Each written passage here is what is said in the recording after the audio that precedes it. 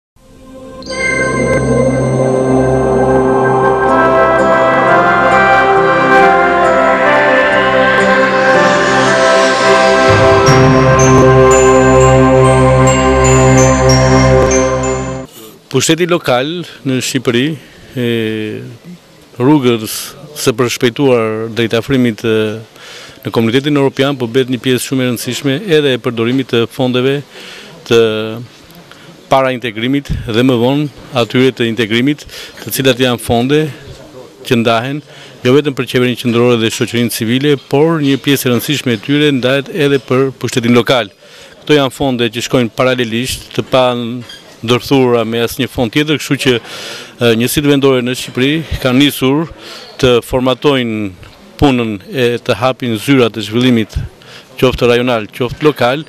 në përshtatje të aplikimeve dhe modeleve të aplikimit që programet IPA të Komunitetit Europian.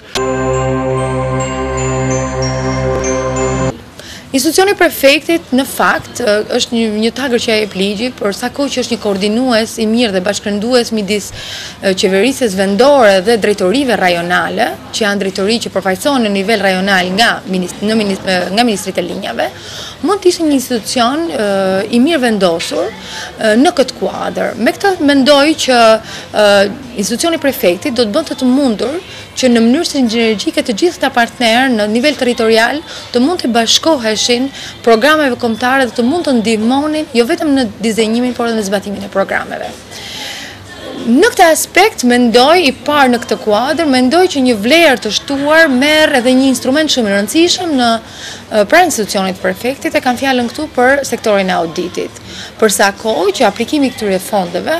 do të kërkojë aplikimin e procedurave të reja konform legjislacionit të Bashkimit Europian.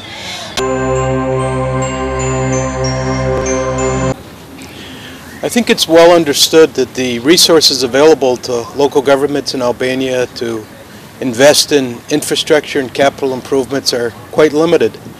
So access to the European Union and the funds available through the pre-accession process offer a very, very valuable resource to Albanian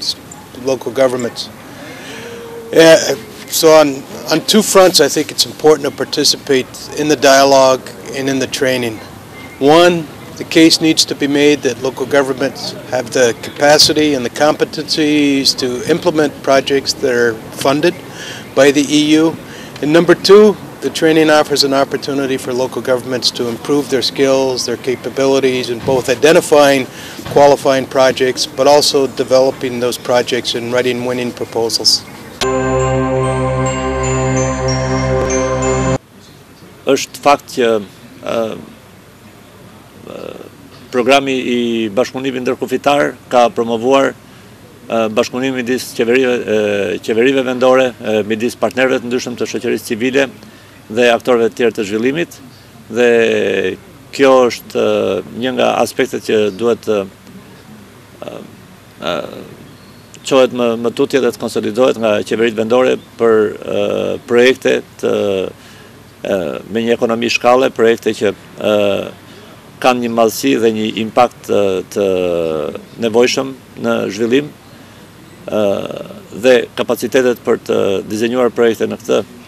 në këtë format, në këtë madhësi, janë kapacitete që duhen ndërtuar që duhet të ishin ndërtuar, që duhet ndërtuar sot dhe të përgatisin të gjitha nivellet e administratës publike dhe të shoqërisë që t'i përthithin këto në interes të zhvillimit. Faleminderit. Albania is on the step into its future and this future needs preparation.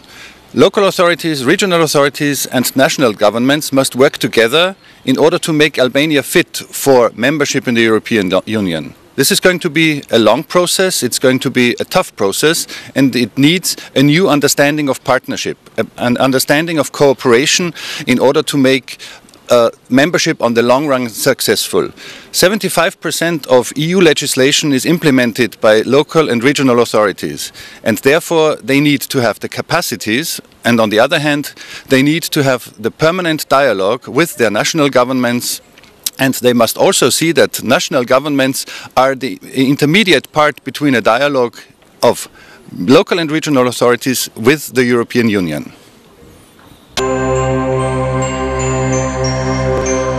Në kuadër të implementimit do doja të ndalesha në dy aspekte që kanë të bëjnë së pari me prokurimin e fondeve të Bashkimit Europian, dhe së dyti me menaxhimin financiar të këtyre fondeve. Prokurimi i fondeve do të bëhet bazuar në rregullat e Bashkimit Europian, të konkretizuara në një udhëzues të posaçëm që është pragu. Ju këshilloj që të ndiqni me përpikmëri rregullat e pragut dhe jo vetëm kaq, por herë pas here të azhornoheni me ndryshimet që pëson kjo rregullore, pasi ajo herë pas here përmirësohet në funksion të lehtësimit të saj dhe një përdorimi sa më të mirë nga ana edhe e institucioneve të qeverisjes vendore. Drejtoria e Përgjithshme e Kontraktimeve dhe Financimeve në Ministrinë e Financave është një drejtori që është krijuar për të menaxhuar fondet e Bashkimit Europian dhe si e tillë ajo është kompetente për procedurat e prokurimit, prandaj do të jemi të hapur për çdo lloj asistence në këtë drejtim. Aspekti i dytë tepër i rëndësishëm është menaxhimi financiar. Duhet patjetër që të çelen llogari të posaçme për fondet e Bashkimit Europian dhe të bëhet një raportim periodik lidhur me to, me disbursimet dhe me shpenzimet pranë thesarit. Do të njihen vetëm ato shpenzime që janë të pranueshme ose eligible, siç thuhet, Dhe këto janë të mirëpërcaktuara në rregulloret e Bashkimit Europian.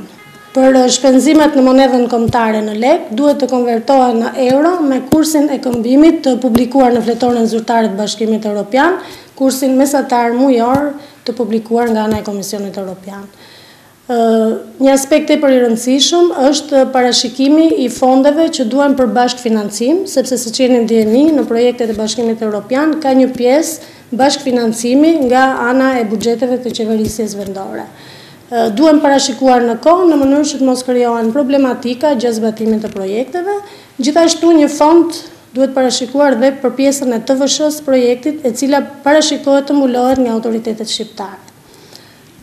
Përmbyllja e ciklit projekteve mund të shihet e lidhur edhe me procesin e auditimit. Bëni kujdes në mënyrë që të mbani çdo dokumentacion të sistemuar dhe në një kohëzgjatje, siç e përcaktojnë edhe rregulloret e Bashkimit Europian. Rregullat e prokurimit publik nuk zbatohen për marrëveshje ndërkombëtare me institucione të huaja ndërkombëtare ose me organizata të tjera ndërkombëtare, siç është dhe programi IPA dhe prokurimi i fondeve në kuadër të këtij programi i nënshtrohet rregullave të pragut. Besoj eksperienca e Agjencisë Prokurimit Publik në rastin e zbatimit të ligjit prokurimit, duke trajnuar institucionet, autoritetet kontraktore apo dhe operatorët ekonomikë, për aplikimin e legjislacionit shqiptar duhet të jetë shëmbull edhe në rastin e aplikimit të rregullave të pragut, pasi institucionet nuk kanë dijeni ose shumë pak i njohin këto rregulla dhe prandaj një trajnim, një asistencë për autoritetet kontraktore, për specialistët që prokurojnë në kuadër të këtyre rregullave është në vlerësimin tim i domosdoshëm për mbarëvajtjen e këtyre investimeve.